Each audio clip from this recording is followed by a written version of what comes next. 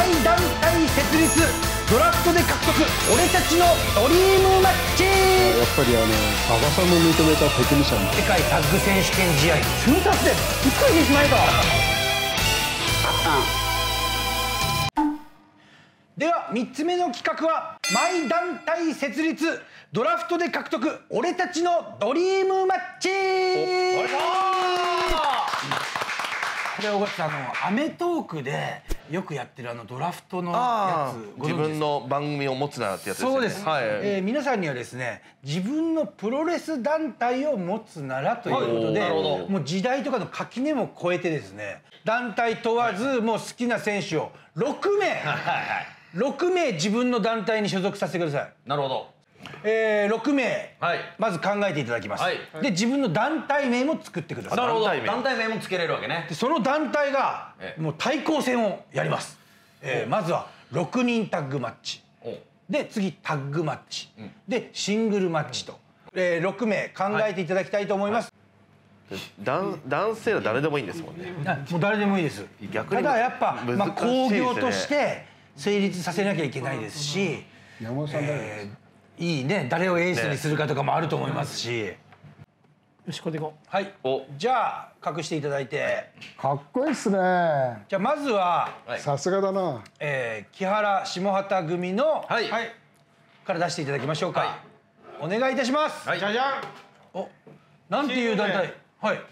パタパタママから取って。はいパーフェクトプロレスリングマスター。なるほど。木原さんちょっと指がかかって見えにくい。ですね PPM と指いうが指ねがかかってパーフェクトプロレスリングマスターズ。我々コンビ我々名パタパタパタパタママからこれ取ってなるほど取りましてパーフェクトプロレスリングマスターズ。はい。で選手を紹介していただけますでしょうか、はい、やはりあの、ええ。経費安くハワイから来るように、はい。グレートマーシャルコーグいやいやいやいきなり。キングイヤーケア、はい。マーク・ルイ何なんですかこの太陽ケアすごいハワイじゃないですか。ハワイ。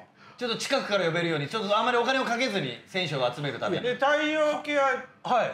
と似てる頭ですか？らやっぱり武藤さんしかいない。なるほど、えっ、と二人はコンビも組んでらっしゃいましたね、ええ。このなぜか、はいみんなあと指名しないと思ってアントニーのやっぱこれは外せないでしょやっぱり。なるほど。猪木さんはマーシャルボブ取られちゃ富っ尾猪木はい。なるほどなるほど武藤敬司選手とやっぱアントニー猪木選手は僕はもうご利用しで何とか入れてください。なるほど。全部ハワイで集めようとしましたそれはやめてくださいということで全部ハワイやってるハワイプロレスリングじゃないです。かタイガーはちょっとハワイっぽく顔じゃなかったからちょっと外して。ああそうあとどんぶらこと。かも考えたんですけどね言うてくれなかったですかあーなんかちょっと懐かしいねどんぶらこなるほどねそういう座組になりましたか？わかりました。けどまあ武藤敬司さんとはい。アントニー猪木さんいますんで。はいわかりまあこれしたハワイで呼んでる経費全部飛んじゃうみたいな。うちは看板選手2人で2枚じゃあ看板で。恭平ターザン組の発表お願いいたします。うちのはすごいですよ。あそうですか。えーっとやっぱり馬場さん命なので、はい。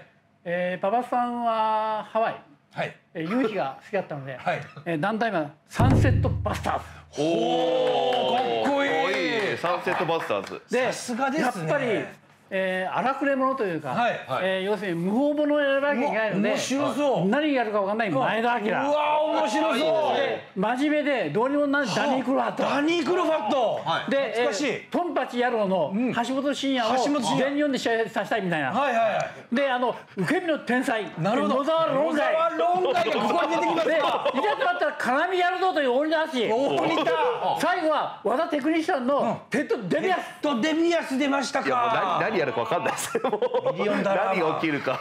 いやすこごいれななかなかのメンツですよ。ちょっと上げといてもらっていいですか？ちょっと本気度が見えますね。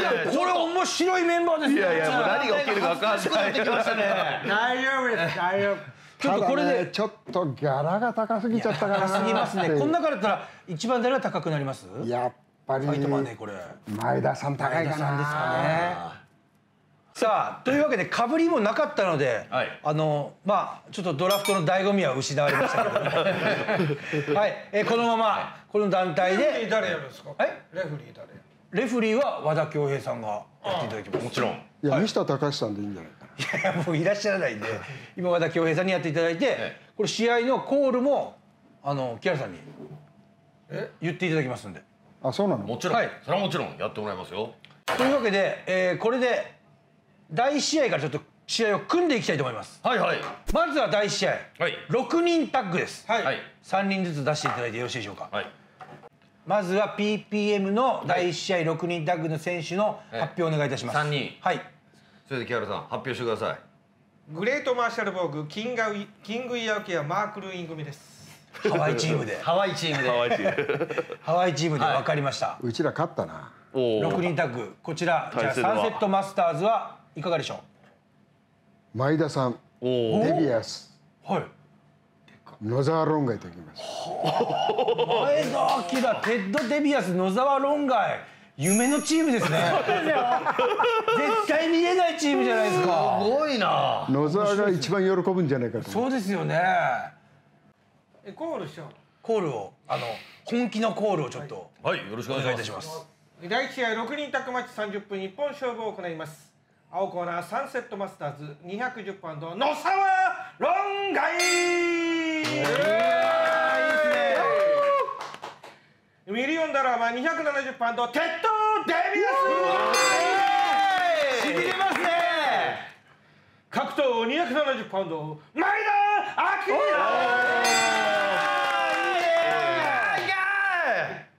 赤コーナー PPM え身長体重不明グレートマーシャルボーグ ハワイの巨像280パウンドキングイヤンケー。独自は260パウンドマーク・ルーインレフリー和田恭平。恭木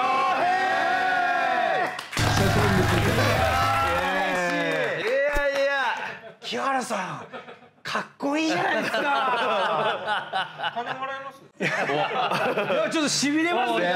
会場見ような横で聞いてるのなんかちょっとねね嬉しいよね。うん嬉しいやっぱり。なんか本当に始まるみたい。始まりそうですね頭の中でちょっとなん飛びましたねその。もうなんかずーっと一緒におってなんか普通の飲み仲間のおじさんみたいな気持ちになってたけど。思い出したわわー違う木原さんやったってなって友達感がね。で試合のちょっと内容なんですけどターザンさんこれどういう感じの試合の流れになりますかね？いや向こうはね、はい。まあ要するにハワイ軍団じゃないハワイ軍団。こっちはさ、はい。要するにさ、前田デビアス野沢論外わけのわからない痕わ跡わかんないはい。もうハワイね軍団をもう瞬殺でぶっ潰してしまえと。いうことでえ展開がいきますね。なるほどなるほどなるほど。でも向こうは楽天でいたから、はい。のんきに来ると思うんですよ、はい。その時はまあちょっとさかっこつけなきゃいけないので、え野田論外お前全部やられてこいと。はい。受けは全部。受そう野田けは野沢が全部受けて。行ってこいと。はい。でもねマーク・ルーインロープ外しちゃうかもしロープ外すんですか？ロープ外していつも相手の首絞めて。ああなるほど。いやそれに対応できるのが野沢論外だ前田さんはちょっと受けてくれない前田さんですかね格闘王かもしれないけどグレートマーシャルがハワイのカワイ空手を。空手やったことないんですよ。あの人いやけど意外とこれで面白い試合になるんじゃないですかこの。ね最後なんかフィニッシュはどうなりますかね。いや前田さんが潔白って終わりでしょ前田さんの蹴りで。はマーシャルボーが マーシャじゃあ前田さんは誰にいマーシャルボブマーシャルル蹴り殺されて。て KO じゃないですかもう。あの前田さんはさもうやる時はあのさあのねデビュー戦でヨはい。ーロッパから帰った時に、ええ。あのポール・オンの方をやっつけたように、はい。はい。もう非常ですからあの人。うん。何分ぐらいでやっちゃうんですかいやこれはあの前田さんはロー、えーコーナーにいてでテド・デビアスと野沢論外がガチャガチャしながら最後の出で一発で出てきた瞬間に決めるもう30秒ぐらいですよ。おお。一発 KO 30秒じゃない前やってる時間ない。いやいや前田さんはそれまで出てこないんですよ。あだから全部なるほど。全部で何秒。見てる。全部で。まあこれは16分ぐらいですね。16分30秒。前田明の勝ちみたいな。なるほど。でもあの矢尾家は場外乱闘が得意なので、はい。でそこにあのさあのまた野野沢論外一発ねかましてもらってもう大流刑してほしいですね。やられまくってほしいですいややられまくってほしい。もう、はい。やっぱそ血だるまになってほしい。 NOSAWA論外評価は高いんですね。いや論外高いっすよ。高いですよ。そうなんですね。もう受けるの天才ですよ。なるほど。でテッド・デビアスははい。もう正統派ですから、はいはい。その正統派と邪道とで要するにさねいけない前田日明という、この3つの組み合わせはいいポジションですね。面白いですよね。これ見てみたいですよね。すごいチームですねこれ。どどんな、ねことにも対応できると、はいはい。アメリカンプロレスもありね UWF もあり、じゃ要するにさインディーズもある、はい。ああいい。めちゃくちゃインディーだよね。今はインディーの時代ですから、だって日本のプロレスは1000人ですから、男女まして、千人もいいんですか？1000要するにあの週刊プロレスのあのさメーカーメーカーありましたよね。あれ1000人超えてますから女子プロはそれでは第2試合やりたいと思います、第2試合はですね、ええ。ー BBB PP BBB、えー世界タッグ選手権試合ということで、タッグマッチでございます。はい。はい。さあどの二人が登場しますでしょうか？やっぱり。そうですか。まずはじゃあはい木原下畑組の PPM から、タッグでね、はい。天才的なチームって言ったら、え IWGP も世界タッグもはい。同時にとってやっぱり武藤敬司太陽契約組ですよ、えなるほど、ああちょっとこっちかなあ。とこの2人残すのみは GHC を取るのみです、うーん息が合うんですか二人は？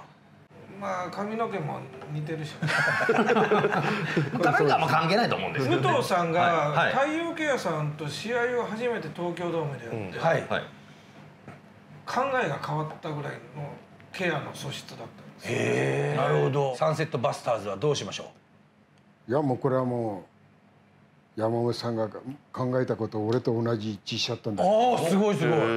ね橋お願いします本橋本真也対ダニー・クロファット。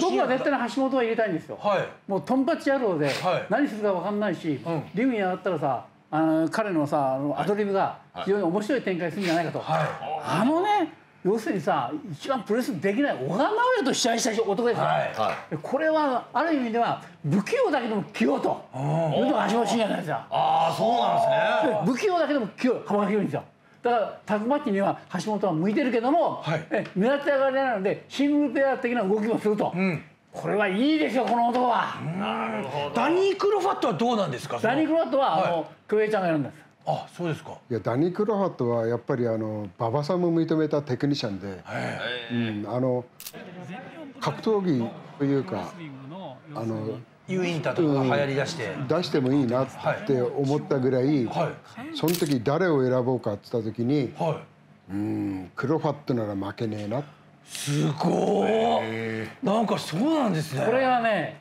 プロレス頭がすごくて、ええもういたずらとやんちゃのまたこれ天才なんだよねあのそれだけ余裕なんですよえリングの中で戦いながらもやんちゃしてんですよ私生活でもやんちゃといたずらするんですよー、そうなんですか。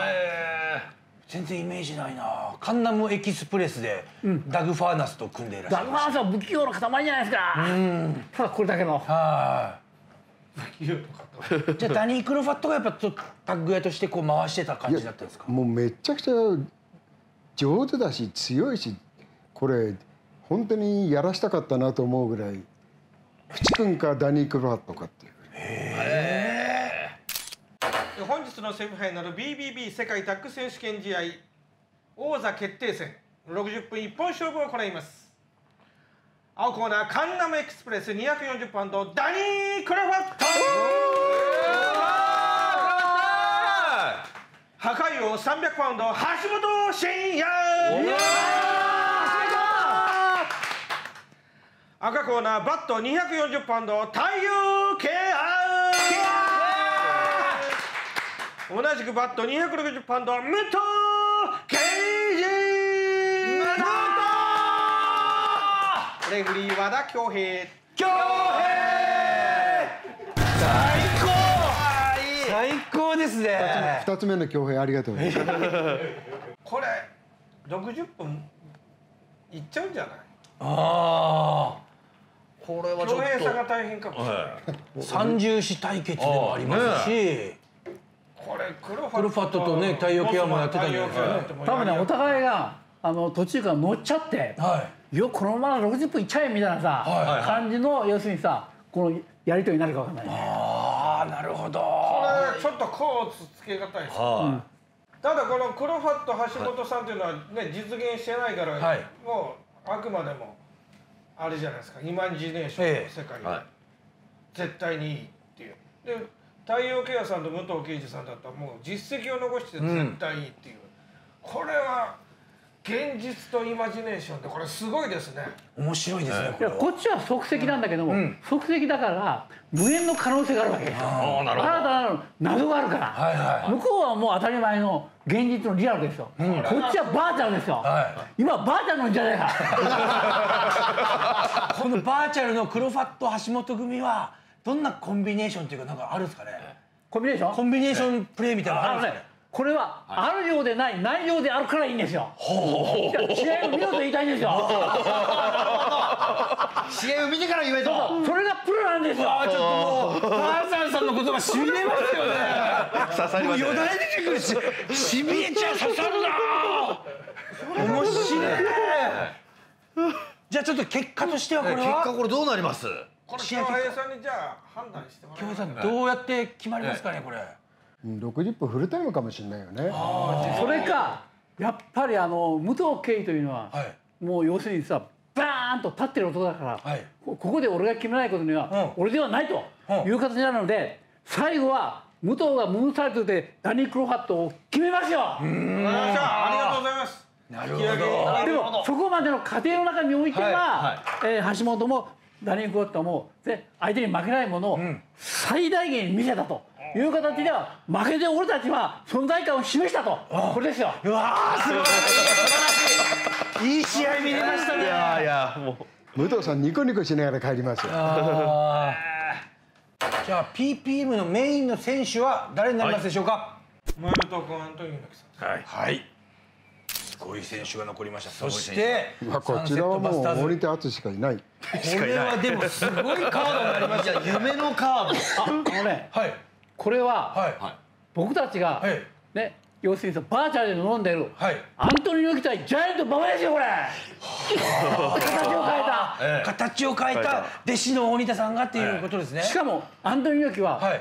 絶対に大仁田敦を新日本のリングに上げることを拒否したんですよ、はいはい上げるなという形で、もう拒否したんだけども、公用上要するに上げたわけじゃないですか、はいそのぐらいにあ大仁田敦のことを嫌ってるわけなぜ嫌ってるかという理由が面白いんですよ何ですか相手に勝っても何の意味ないだろうと勝負もないじゃないかと、はいそういう形で要するにさ大仁田敦は上げるなという猪木の非常に認めてなかったわけですねまたそ全てを認めてないの認めてない大仁田に勝っても意味がないんだからと。はそれだってなんで試合するんだということですよ。だって勝とうが負けようが、はい。最後大仁田がマイクでこうやって叫ぶじゃないですか、はい。それがメインになっちゃうんだもん、あの大仁田はええ。長所を引っ張り出して、はい。と東京ドームでもいろいろやりましたよね、はい。やりました。やったやった。いえ。面白いんですよ、えはい。大仁田は新日本に上がって一回も勝ってないんですよ。ああれ全部負けましたか？全部負けてるんですよ、はそこまで猪木のさその哲学はすごいんですよ。あいつに勝たしたらもう新日本は終わるぞという形であいつが目立ったことは許すけどもいはい。勝ちはありえないと。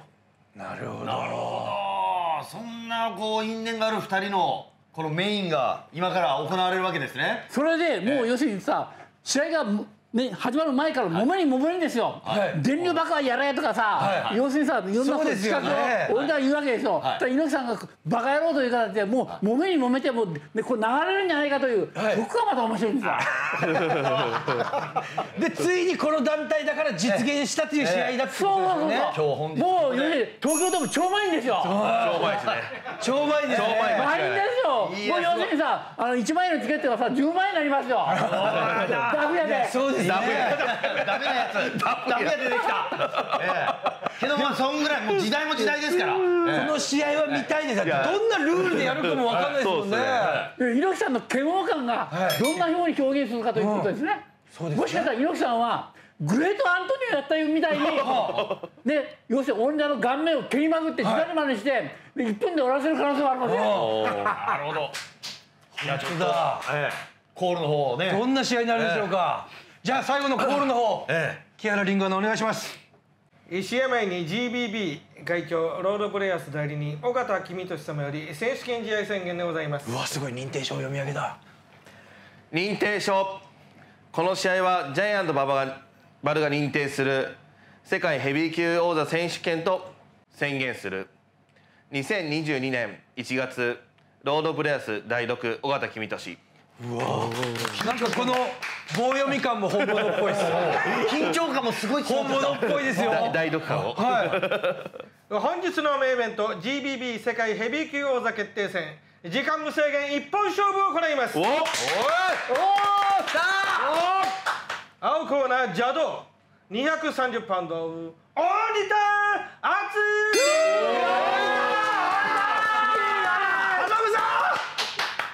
赤コーナー燃えるとこ250パントニオ猪木レフェリー和田恭平三度目の。いやー素晴らしい。いいね。さあどんな試合になりますでしょうか？もちろんこれはね、はい。あのセコンドが誰になるかというのが問題ですよ。本当ですね誰がつきますかねこれは。俺たちのセコンドは私ですよ。おお、ただよ。自ら。自ら。自ら来ますよ。すごい。山本さん解説は馬場さんですかじゃあ。ばあさうわお面白い。じゃあ放送席に馬場さんがいるんです。ん、言うです。あーいいいや実況は誰ですか？倉持さん。えっと古舘さんですか？誰ですか？あの、な誰が好きえで、すか？倉持さんですよ。倉持さんが倉持さんが実況で解説に馬場さんがつくと。これは面もう白い竹内さんも一緒にいてほしいよ。竹内さんもね見たいですよね。じゃあ竹内さんとダブル解説。え要するにあの桜井さんも見てほしい。新日本代表で。あ倉井さんもそうですね。新日本と全日本代表。じゃあ3人解説。そう使い。されて、N ね要するにさテレ朝と日本テレビでやってほしいわけですよ。やってほしいあ猪木さんのセコンドというわあの脇には新馬さんもいるわけですいきますね。新馬 VS ターザン山本ですよ。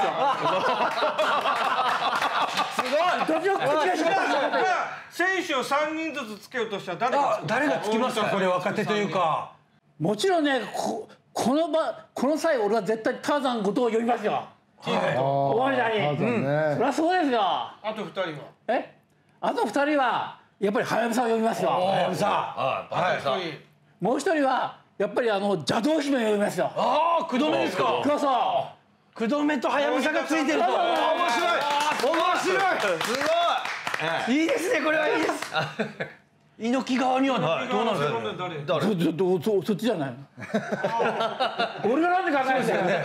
そうですよ。こっちですよ。こっち側ですから。まあ3人だったら長州さん藤波さん永源さんでしょうね永源永源さんがそっちついて。はいはい永源さんは相手必ず目立つからね。カメラのサイドで。あと組長とかね。どういうこれ試合流れになりますかこれ？いや大仁田はどう仕掛けますかね？俺はねやっぱりねあのタバコ吸いながら猪木さんを何回もやりますよ。ああはいはいはい。いいですね。それで向き合った瞬間にえ。大仁田は猪木の顔面に毒斬り吐きますよ。うわああいいですねえどうなんですか。俺その時あのあの永源はるか見てるから。見てない見てない。反則取らないですね。は今日こっちだおいバカ野郎みたいな感じそのその間毒斬りやられてるから大仁田のいきなりのこの毒斬りなんかもうめちゃくちゃ盛り上がりますよね。盛り上がりますよ。猪木さんはさフォアドームで、はい。あのさ無駄に毒やられた時に、はい。一番不快感を催して、はい。もうすごかったんだから機嫌が悪くて。そうですか。千葉で流したから、はい。要するにあの時のさ猪木さんっていうのはすごいよね、無駄とやった時の試合、あれを要するにさ大仁田は画策するわけですよ。なるほど。なるほど。新馬さんとか入ってきて今のはやめろと。かえ？新馬さんとか入って中断とかしない中断なんかないですよ。だからあの猪木さんが近づいてきたら要するにね大仁田は逃げる、はで俺やったら近づく。要するにさねはい。逃げたりと要するにさしながら猪木さんをじらす方法でいくからね我々我々そうそうそう絶対にロックアップしないはしたら負けるからいはいはそういう作戦でなるほど要するにさ時間稼ぎするい時間稼ぎしてなるほどそしたらターザンごターザン後藤があの鉄あのバット持ってきてはい。渡しますか渡そうと。許してたますすごいですね。すごい。猪木さんがじゃあ有刺鉄線を食らうなんていうシーンがあるんですかねやっぱ。ありますよ。それを持って要する猪木さんの腹目がけてさ有刺鉄線バットバーンと一発でやるんですよすごいなあ。それやらないと男じゃないしさはい。レスラーじゃないですよ。ああなるほど。で猪木さんはどう反撃していきますかねどうしました？解説の馬場さんまあ2発目3発目逆にレフェリーをしてレフェリーが食らうしかありませんね。レフェリーそこで死んでます。じゃあ誤爆が誤爆を狙うんじゃないですか猪木さあそういうことだね。ん、はい。どんどんやらせてやるだけやらせてやれやれやれってやらせて、なんかで誤爆をやらす。なるほど。で誤爆でターザンさんが食らったりもするかもしれないですね俺がジムにあって何やってんだってさ猪木で仕掛けます誤よ爆でまず恭平さんがやられてやられて恭平さんが血だらけになって、ええ。血だらけ。血だらけになった京平さんか。でそれで山本さんが入ってくるんじゃなああいいですね。リング上がってきて。はい。ほいで俺もビンタ食ってついでに俺も流血するという。みんな流それいいですで山本ねさんも流血するわけです。そうそうそう。え。じゃあ終盤どうなるんですか？え？終盤はもうとにかく最後は猪木さんが、まあ、要するにさ円髄もあるし、はい。えー、卍固めもああるわけですよ、はい。しかしここはねあの大仁田を要するにさもう一番高い位置から、はい。あのパワーボムで叩きつけると。ほう。これが一番いいし仕留め方だね。あのモンスターマンに勝ったそうそうそうそうそう。フィニッシュがもう。そうそう要するにパワーボムというのは要するにさ隠した相手に決めるもんだから。はいはいはいはあのなんていうかさあのモンスターマンに決めたように、い。はいあの逆エビ固めと一緒の技ですから。なるほど。隠しただから隠してあることを見せつけるために色あの大仁田にパ要するにね。パワーボムね自分の必殺技じゃなくて大仁田がいつもやっている、逆に要するに長椅子を出させて、はい。長椅子でお要するにさパワーボム？パワーボムを大仁田にやってしまうというあーなるほど。その幕切りが最高にそしたら椅子がドーンと落ちて、要するに真っ二つに割れると、はい。はい。で猪木さんがダーンやるわけですよ。あい。い。今絵が浮かびましたよ。思いましたね。でも猪木さんが最後まあじゃあダーで締めますよね。でも大仁田はもうそれじゃまだ許さないじゃないですか。猪木さんが去った後。そこはね、はい。大仁田これはこのまま俺たち帰ろうと。ほう。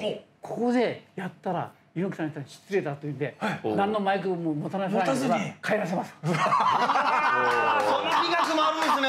でこれは大仁田の勝ああ惜しい。猪木さんの勝ちでいいんですよね。そうそうそう。猪木さんの圧勝。じゃあ最後猪木さんバイク持ってあの解説してる馬場さんに「今度会う時はリングの上です」って言うんですか？いやいやね。あーすごい。やっと世紀の一戦が実現する。なるほど。夢があります夢がある。夢がありますね。続きがある戦いじゃないですか。ネクストがないものはプロレスじゃないから。あーいい。ネクさんはすごいここでやっぱ大仁田にマイクさせないねさせないっていうね。なるほど。これ面白いですね。面白いねここは。というわけでアントニオ猪木の勝利でこの大会はじゃあ万々歳うわーよかっ負けた。あー負けたね俺といったわけで勝ったんで。すよ。たあ俺たち勝ちましたよ。ただ試合は、ええ。ー PPM がええ。勝利いたしましたけども、最終的な勝利はですね、え。あのどちらの団体の方が素晴らしかったかというのを尾形さんに判定していただい。てなるほど。あ私から。どちらの団体が良かったでしょうか？いや悩みはでしたらじゃあサンセットバスターズですかね。ありがとうございます。スターズの勝利でござい人生は負けるが勝ちだ。そその最後の負けの美学までね、負けの美学までね。プロレスっていうのもありましたねやっぱり。試合に勝って内容に負けたね。そうですね、はいネクストを作ったっていう。ね、でターザンさんが大仁田さんの肩ねこう担いで帰っていく姿も絵になるじゃないですか。やっぱりね男はね後ろ姿で見せなきゃダメだよ。それがあれじゃないですか。勝負の表紙になるじゃないですか。そうそうそう。その負け姿そうそうそうの方が後ろ姿が。ね。俺らの後ろ姿それが表紙だ。表紙がそそっちですね。表紙ね。猪木さんじゃなくてなるほど。さすがシュープロのファンですね。邪道のジャンバーを着直してからでああいい絵ですね。ターザン山本さんにこう肩そうですね。上をこう見ながらはい。ああそっちが表紙か。猪木じゃない。なるほどわかりました。最終結果に関しましてはえっと2勝1敗で、おめでとう。木原下畑組の勝利でございますといったわけでジャイアント馬場バルさんの料理食べ放題。はい。ありがとうございます。お楽しみください。いっぱい食べてこといったわけで以上、えー、パタパタ馬木下持ち込み企画でした。ありがとうございましたう。ありがとうありがとう。いや本当皆さんありがとうございました。素晴らしかった。最高やった。いや本当高校生の時の自分にこう教えてあげたいですね、いや第2回やる第2回ぜひやりましょうビンタやると馬場さんが怒るんだよね4試合終わって休憩とかねそのぐらいまで怒られてた時はある川田君に恥かかせられないでしょっていう10年前にも元子さんに怒られてたってことが 馬場さんってすごい各チームだなと思ったよね。